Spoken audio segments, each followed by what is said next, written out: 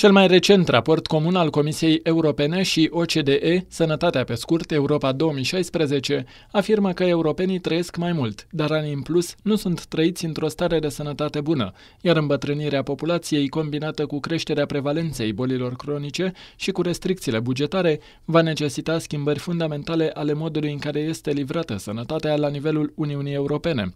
Iar unul dintre pilonii fundamentali îl reprezintă informatizarea sănătății, după cum evidențiază evidențiază medicul Marius Geantă și prin articolul Sănătatea digitală, foaie de parcurs pentru România în contextul inițiativelor Uniunii Europene.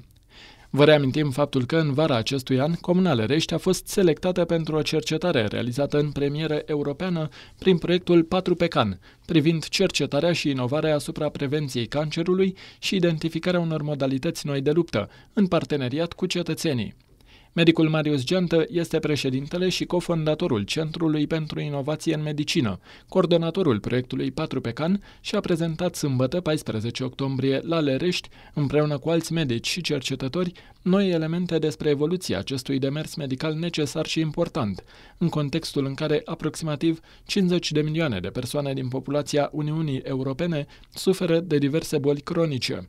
Sunt uh, unul dintre fondatorii și președintele Centrului pentru Inovație în Medicină, organizația care coordonează proiectul 4 pe CAN, uh, un proiect care cuprinde 17 organizații din 11 uh, țări uh, și care își propune, așa cum spuneam, să optimizeze, să îmbunătățească modul în care campaniile de prevenire a cancerului pot să fie puse în practică în uh, diverse țări, uh, inclusiv în uh, România. Suntem aici în Lerești într-o echipă extinsă. Alături de mine este domnul profesor Gabriel Hâncean, profesor de sociologie. Lângă mine este doamna dr. Cosmina Cioroboiu, este medic spe, specialist în sănătate publică și de asemenea doamna dr. Bianca Cucoș este medic specialist genetică medicală.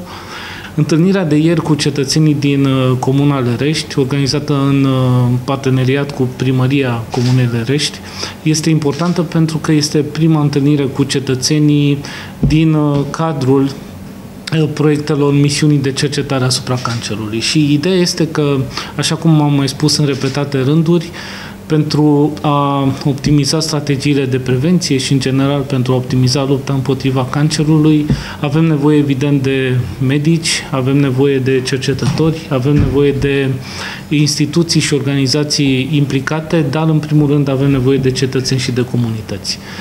Uh, și, sigur, acum, până în urmă cu câțiva ani, cetățenii n-au fost neapărat parte din uh, acest proiect de creare a acestor strategii și de aceea întâlnirea de ieri a fost extrem de reușită pentru că, pe de-o parte, am prezentat, cum prezentăm și astăzi, evoluțiile din proiect și, pe de altă parte, am aflat de la cetățenii Comunei Lărești uh, ce anume interesează și am, am constatat un interes crescut pentru problematica nutriției, activității fizice, a obezității.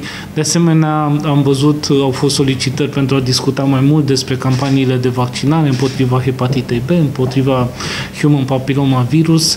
De asemenea, am discutat despre programele de screening. Unele dintre ele s-au derulat deja și aici în, în localitate.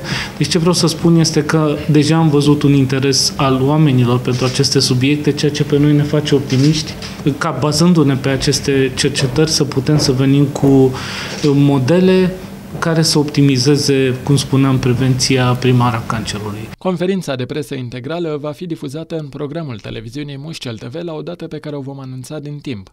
De asemenea, vom reveni cu noutăți despre proiectul 4 pe can la jurnalul Mușcel TV.